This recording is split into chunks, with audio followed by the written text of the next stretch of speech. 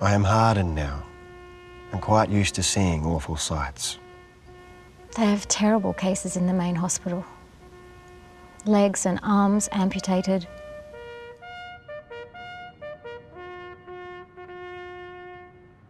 For I was standing behind him and his blood and brains were smashed all over my face.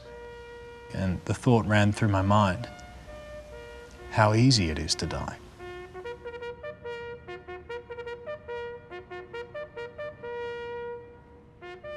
So perhaps you may have an idea how difficult it was to get away, and especially when a machine gun was chasing you.